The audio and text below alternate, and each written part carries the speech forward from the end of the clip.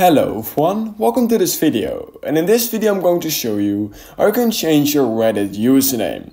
So in order to do this it's actually quite weird and in this video I'm going to show you guys all the steps you need to take in order to actually change your username. So the first one, and I've actually three methods in order to change your username because it's quite weird like I said. But the first thing what you can do is go click on home once you've opened Reddit and then you can simply click on your profile picture right here.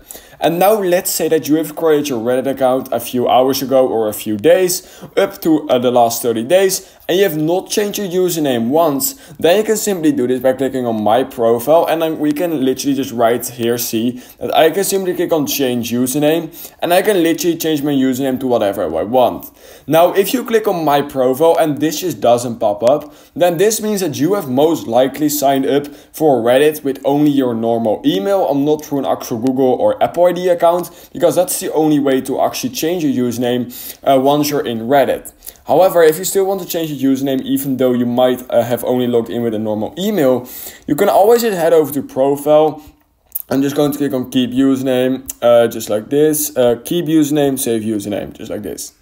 And once you've done that, you can always just click right here on edit and this will not change your username. However, it will change your display name, which is basically the same. Username is how people find you and display name is basically how people normally see you. So that's how you can change your display name. But if you really, really want to actually change username after those 30 days, or if you just simply sign up with a normal email, then what I would just recommend doing is just deleting your entire account if you really want to change your username because there's just no other way to do that.